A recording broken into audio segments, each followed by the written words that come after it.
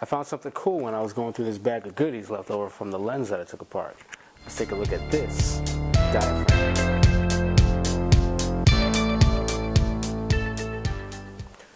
So the diaphragm controls your aperture on your lens. Say you're shooting at 1.8, the diaphragm is going to be wide open. And if you're shooting at 22, the diaphragm will be this big. Not that big.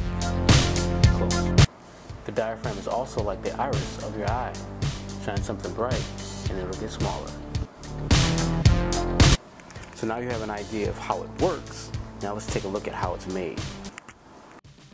So these are the three main electrical components inside the camera lens, the motor, the computer, and this is the aperture, the diaphragm, the aperture control.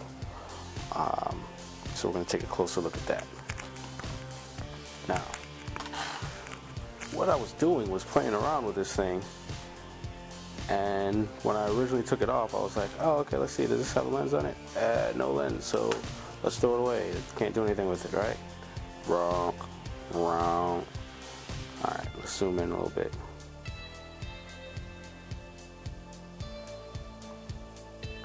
Alright see so this this right here connected to the uh, the computer chip thing here, motherboard, whatever you want to call that. Um, that's what this is. And inside here, I believe, are magnets. And there's four different, I believe four different magnets in there. And this right here is where the aperture is controlled.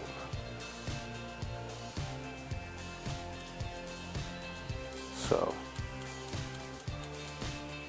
that I thought was really cool. All it is is this little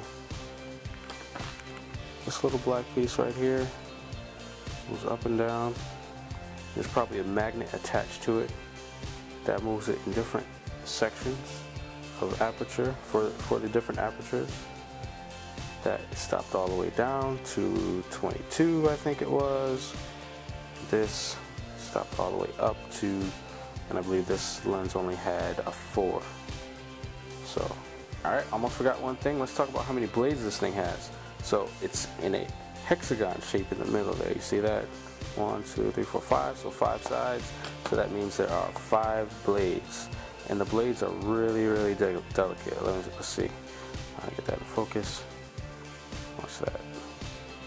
See how they just kind of push back really easily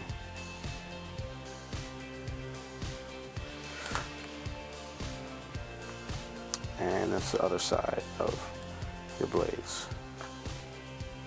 Zoom a little bit more. See that? So.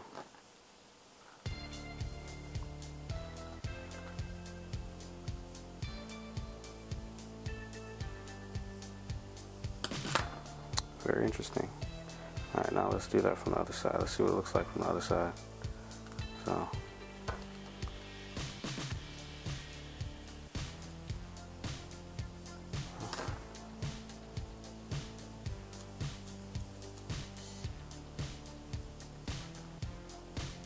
Wide open, shut, wide open, shut.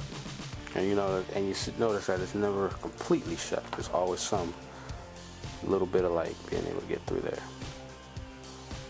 All right, that's all I got. Jay Knight. Like it, comment, subscribe, go to my uh, website. Thanks for watching.